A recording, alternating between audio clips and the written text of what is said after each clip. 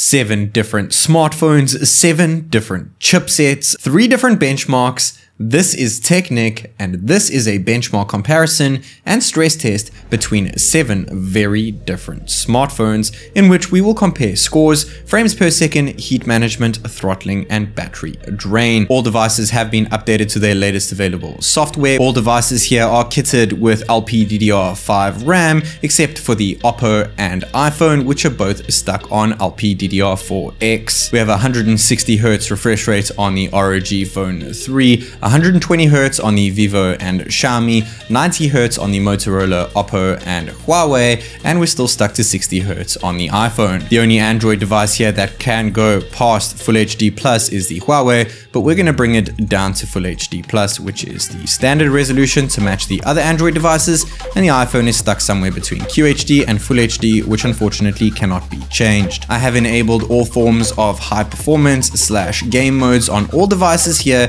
except for the the Motorola and iPhone, which are unfortunately lacking these features. Our first benchmark here is Antutu, and we're going to be running version 8.5.4 on the Android devices, while the latest version for iOS is 8.3.8. The second benchmark we'll be going through is Geekbench version 5.3.2, and the third one will be 3D Mark Wildlife. The ROG phone says it's the Strix edition on 3D Mark, but I can assure you this is the fully fledged ROG phone 3 3 with a max clock speed of 3.1 GHz running the Snapdragon 865 Plus chipset. Can the new Snapdragon 870 powered Motorola Edge surpass the Snapdragon 865 devices? And more importantly, can it keep up with the 5nm process node monsters, the Snapdragon 888, Kirin 9000 and A14 Bionic?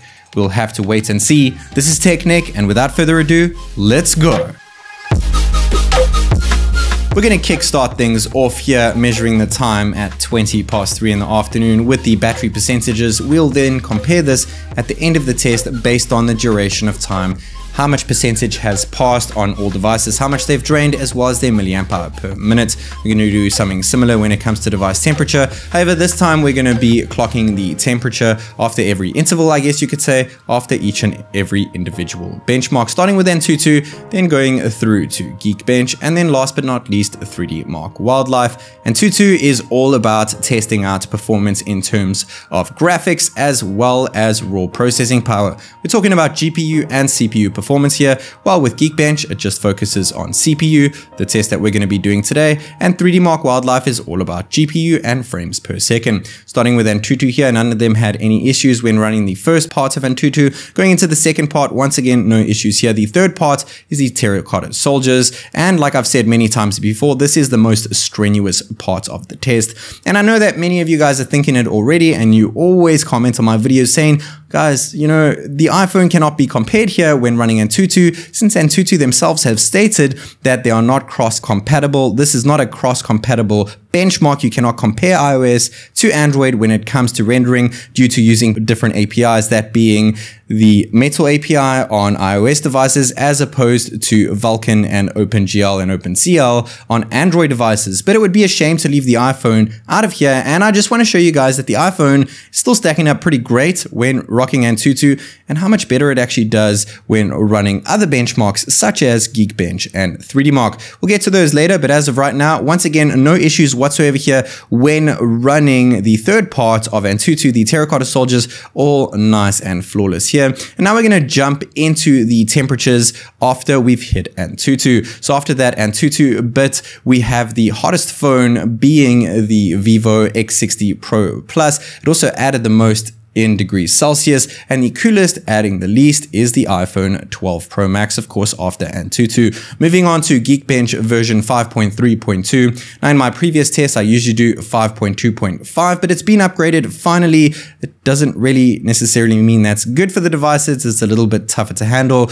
Once again, the coolest device being the iPhone, but the Vivo actually dropped by 0.1 degrees in Celsius while the Oppo was the hottest, adding 2.2 degrees in Celsius. And the hottest overall is, of course, still the Oppo. Well, now the Oppo with 54.5 degrees in Celsius, which is pretty hot. I mean, the Vivo was pretty close to that after Antutu. Running through 3D Mark Wildlife over here, this is not the stress test. This is just a one minute quick portion video, and it looks really good on all devices. We're hitting some pretty solid frames. On the Snapdragon 888, we're hitting a good 30 odd frames per second. On the yesteryear Snapdragon 865, 865 Plus, and 870 devices, we're hitting just over 20, I guess you could say, maybe 24, maybe just shy of 30. Getting to the last temperature, heat dissipation management over here, we have 54.5 degrees in Celsius on the Vivo, adding 1.7 there. The least addition is the Mi 10 Ultra, and the coolest device, the iPhone 12 Pro Max. And from start to finish, the Motorola Edge S added a whopping 15 degrees in Celsius, and the least addition was 8.6 degrees in Celsius on the iPhone. Now, if we focus on the percentage of drain, as well as the battery capacity of each device,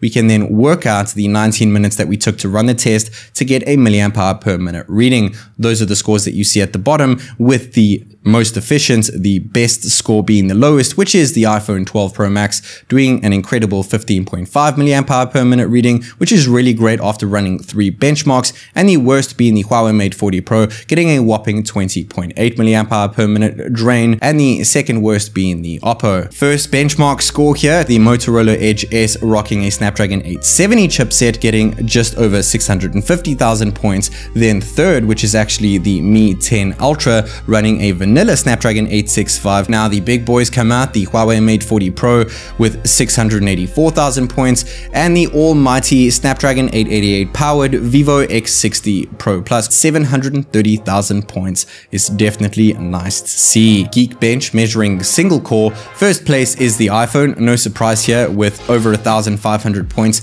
Second place, quite a jump down, is the Vivo with 1,135 points. Then we go to third being the Huawei, still in a pretty similar range compared to the Vivo since the top three devices are all rocking 5 nanometer process node tech, jumping down to a 7 nanometer chip going to 994 points on the ROG Phone 3. The ROG actually beat the 870, which placed fifth with 981 points. Then it goes to sixth being the Oppo with a lackluster Dimensity 1000 Plus chip, also on 7nm tech, beating the 7nm Plus monster Mi 10 Ultra, which placed seventh due to throttling, which got a mere 596 points. Things are slightly different when we get to the multi-core score. We still have first place being the iPhone, second place being the Vivo, third place being the Huawei. Once again, all 5nm process node chips taking the top three tiers over there. But now fourth, once again, the ROG Phone 3, with fifth, once again, being the Edge S,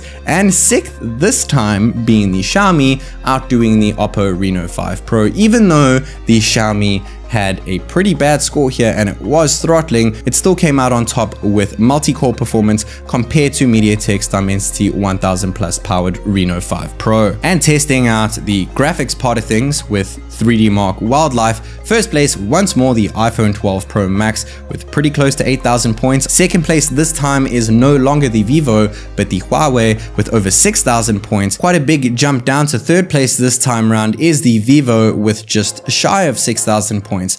Fourth place is now the Motorola Edge S, edging out the ROG Phone 3 with a substantial lead. Sixth place is the Oppo Reno 5 Pro with a worst chipset than the Mi 10 Ultra and still beating it here, but you've got to bear in mind that the Mi 10 Ultra was once again throttling, which seems to be a common occurrence for Xiaomi devices. Now, if we focus on frames per second, we got the highest FPS on the iPhone 12 Pro Max with 46 FPS. Then we had 37.9 on the Huawei, 34.6 on the Vivo. What was really interesting is that we got 29.5 on the Snapdragon 870 powered Motorola device compared to the Snapdragon 865 Plus powered ROG Phone 3 with 5 frames per second less than that, and a frame per second, 1.5 frames per second less than that is the Mi 10 Ultra with 23.1 FPS, meaning that the Oppo Reno 5 Pro is sitting somewhere between the Snapdragon 865 and 865 Plus in terms of graphics rendering. I hope that you enjoyed watching this video as much as I did making it.